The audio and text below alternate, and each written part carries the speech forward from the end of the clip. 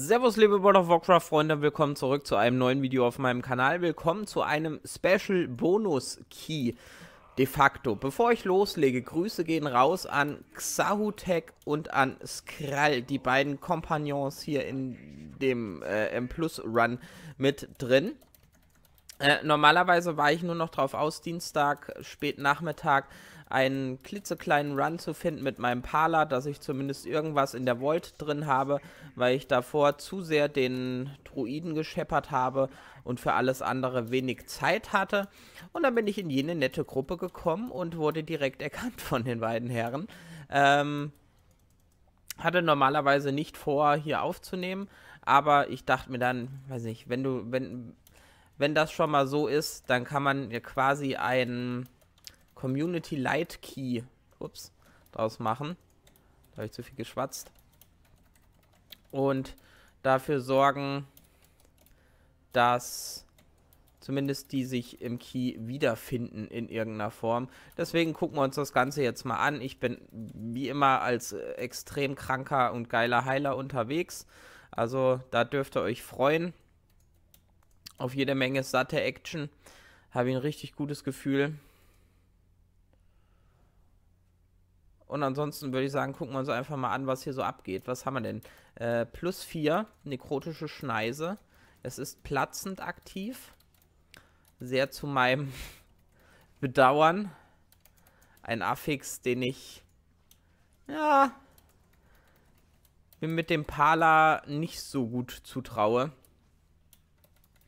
Wenn man das so sagen darf. Aber ich glaube, ich glaube, es gibt Schlimmeres dürften wir halbwegs hinbekommen.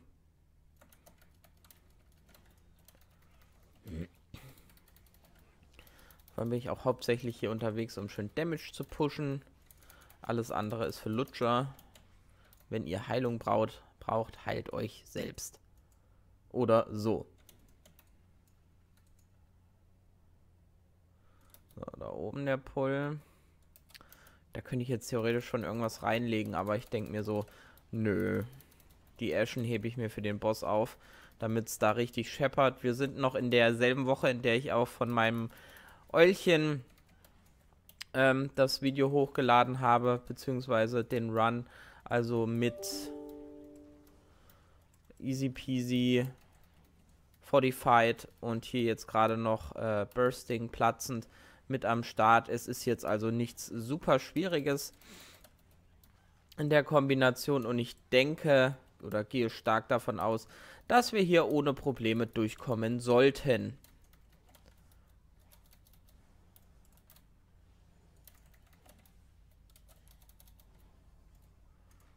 Ah, ich habe so ewig nicht mehr geheilt. Das fühlt sich schon überhaupt nicht mehr natürlich an hier. Achso, und ich muss die Flamme neu setzen. Hm. I forgot. Sorry. Aber es ist ja auch DK, ne? Der kann sich auch ruhig mal ein bisschen selber heilen. Da wollen wir gar nicht erst mit anfangen hier mit irgendwelchen Spirenzien. So, Boss. Der sollte ja dementsprechend dann noch ein bisschen einfacher sein. Pull den, pull den Lütten einfach mal ran hier. Zack. In meinen Mund. Und jetzt kommt hier die wunderschöne Ashen Hollow über das halbe Gebiet gelegt und jede Menge Damage-Spells da rein. Da kommen noch die Flickwerk-Soldaten. Die sind mir aber auch relativ latte. Einfach durchbrezeln. Also ich habe bisher noch keinen einzigen Heal-Spell gewirkt. Und ich bereue gar nichts. Komm. Jetzt mal die Taschenlampe reingehalten. Aber der Boss kriegt ziemlich gut Schaden. Wenn ich das so sehe. Also ich bin auf jeden Fall vor dem Tank. Der Ashen Hollow ballert äh, der Pala mit Wings ab und so weiter doch ganz gut, wenn ich das so sagen darf. Komm, Kilit. Kilit, Kilit. Sehr schön. Gut DPS. I'd say. Die zwei Auflagen hier. Fuck it. Interessiert keinen. Mal schauen, auf was wir die Inni pushen können in Sachen Damage. Ich denke, da geht doch noch einiges mehr. Ah, ich wollte gerade sagen, die, den T von T, Ota, haha, habe ich drin. Was habe ich denn hier gekriegt? Tempo. Ich glaube, Tempo ist sogar ziemlich gut. Oder Tempo ist ziemlich gut. Noch besser wäre da eigentlich nur Int. Aber ich glaube, da werde ich jetzt nicht rerollen. Nicht, dass dann noch was schief gehen wird. Also so Crit oder so eine Scheiße bräuchte ich jetzt, glaube ich, erstmal nicht. Zack.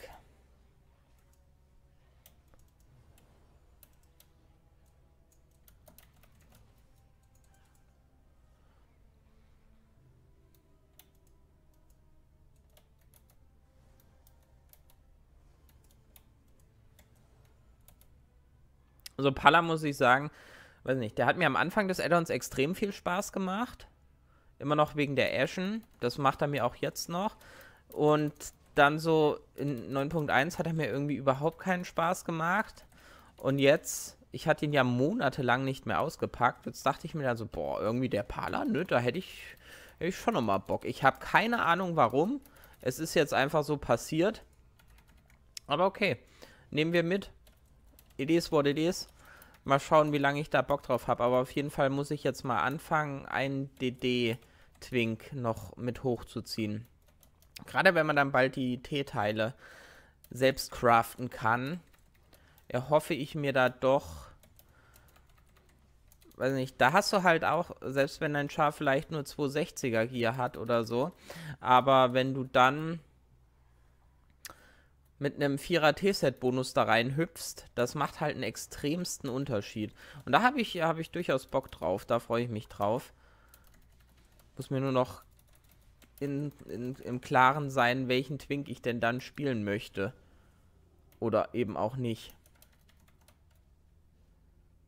Da wurden schon wieder die nächsten Orbs vergessen. Okay, die holt einer. Very good, very good, very good.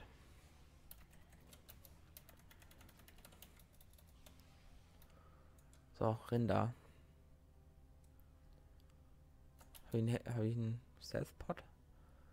Ja, habe ich tatsächlich, aber wir gehen Big or Go Home. Finde ich tatsächlich sogar gut, weil es ist plus 4. Who cares? So, da mal so ein Taschenlämpchen reingehalten. Das müsste für die meisten schon reichen. Der weg, dass der nicht stirbt. Da auch nochmal einen kleinen Heal gespritzt. Und zack, sind wir doch. Sind wir doch halbwegs Gucci hier.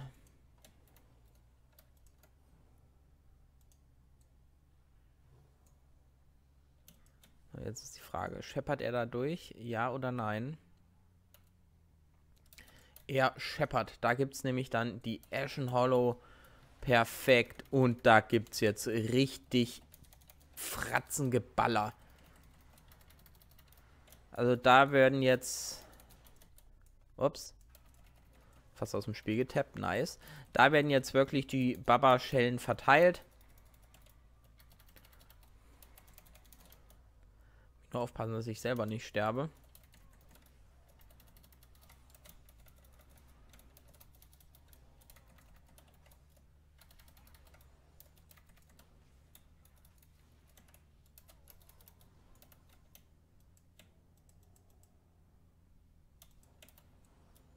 Naja, ging doch, würde ich sagen. Genug geheilt. 5,4k DPS gemacht. Ich denke, das ist okay für einen Heiler. Da soll noch mal einer meckern jetzt. Oh, das war der Cleave Boy.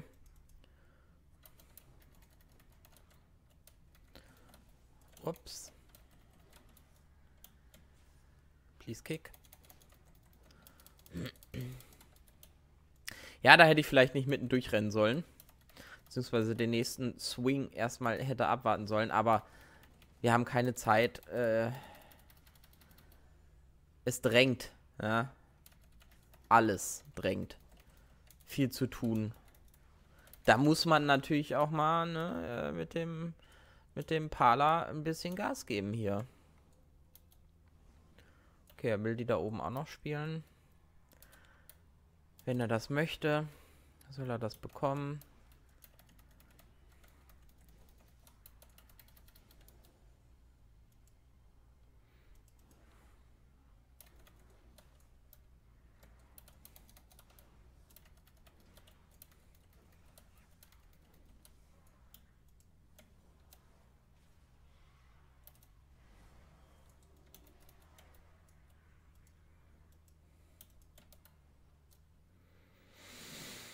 Und ja, sieht ja soweit ganz gut aus. Wie lange sind wir jetzt hier drin? 10 Minuten vielleicht, plus minus. 60% Trashdown, noch drei Bosse. Too late. Na toll. Amen Nakoi.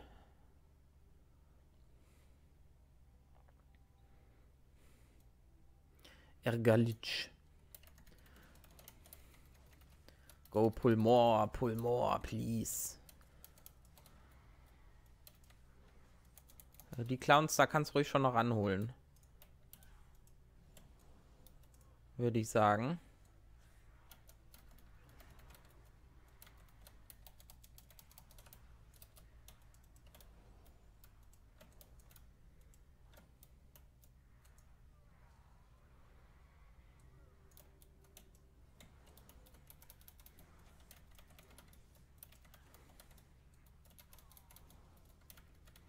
Ja, das war okay.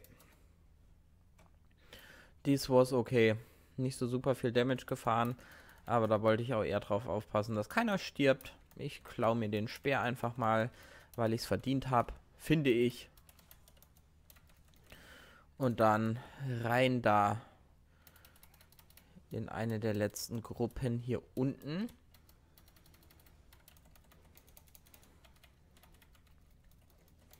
Sensationellen Damage am Pumpen hier mit 1,5k.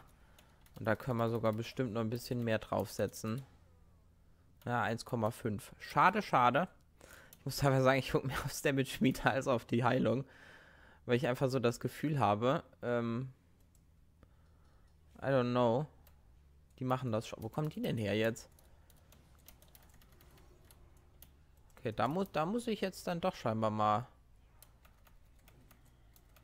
mal kurz mit reinheilen. Wie mir scheint. Denn die sollten da so, glaube ich, nicht drin sein. Ich habe auch überhaupt nicht aufgepasst mal wieder. Ein niceiges Gameplay von mir.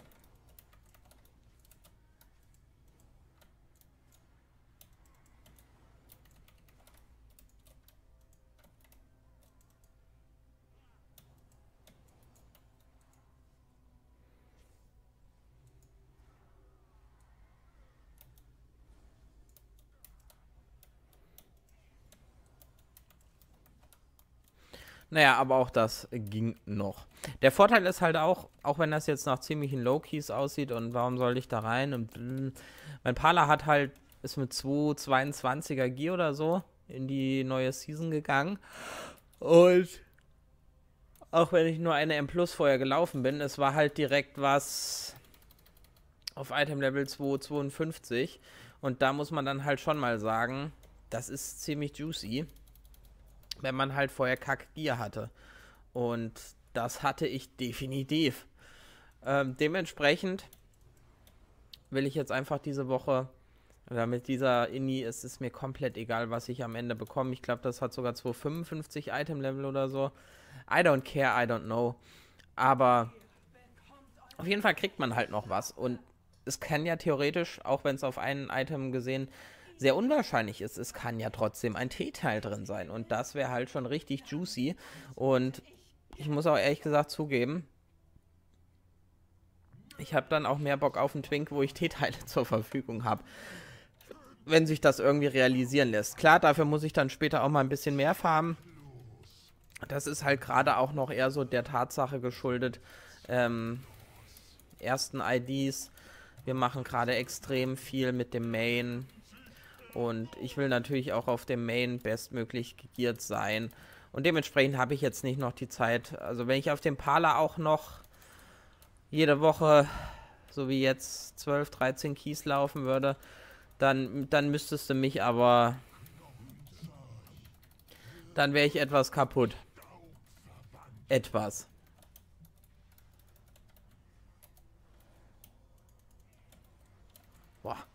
Dritter im Damage. Krank ab abrasiert hier. Ich habe noch nicht mal Waffen. Ach, die zählen ja eh nicht mehr bei mir mit rein. Dann interessiert es mich nicht. Ich glaube, die Waffen hebe ich mir auf.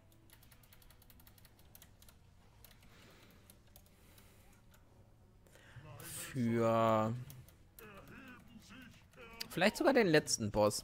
Weil ich glaube, für den nächsten hat eh noch irgendjemand Waffen am Start und scheppert die da rein, dass der in einer Phase instant umfällt.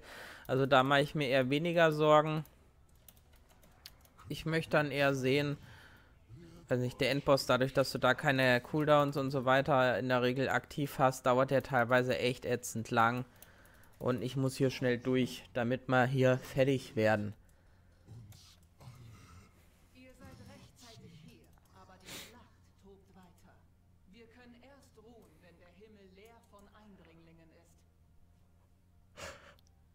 So, das sieht doch schon mal aber ganz gut aus bis hierhin. Noch 20 Minuten Zeit, meine Herren, das ist ja noch eine halbe Ewigkeit.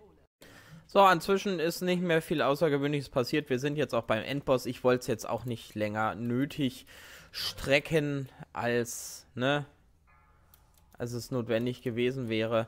Lassen wir es bis hierhin gut sein. Lief äh, smooth, vier Leute dead gewesen. Ähm, ich würde dem Heiler an dieser Stelle keine Schuld geben. weil ich auch nicht mehr weiß, wie die Tote zustande kam, wenn ich ehrlich bin. Da habe ich nicht ganz so gut aufgepasst zwischendurchlich. Aber jetzt hauen wir nochmal Ashen Hollow raus. Jetzt wird nochmal ein bisschen DPS geknuspert. Oh, und nein, jetzt ist das Zeug aufs Mia. Ja, dann ist mir jetzt scheißegal. Dann hast du das jetzt halt da, wenn du nicht rausgehst.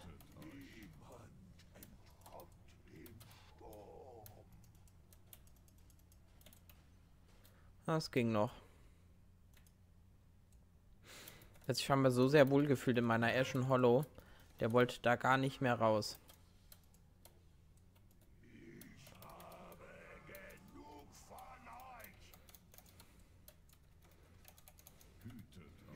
Ich habe sogar noch so ein Wäffchen.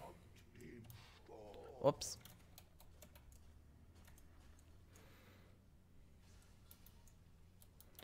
Haben wir den auf jeden Fall nochmal so einen Schmiedehammer ins Gesicht. Da raus.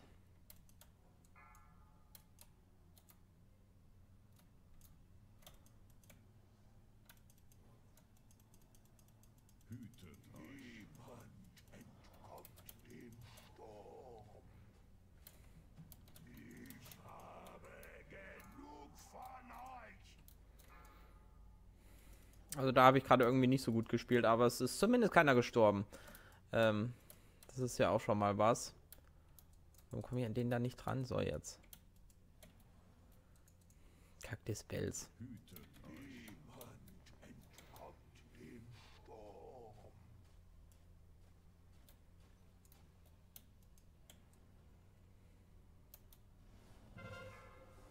Fesseln on me.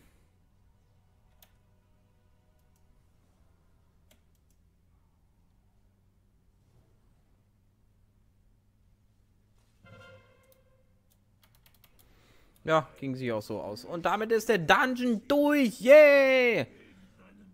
Plus 2 auch noch. Krank. 160er Wertung jetzt. Give Item. Gibt kein Item, natürlich. Das war ja zu erwarten. Aber gut, nicht so schlimm. Was hat der gekriegt? So 42er Schultern. Plate. Ich muss auch sagen, ich habe ehrlich gesagt gerade keinen Bock auf Loot zu gieren. Oder zu geiern. Whatever.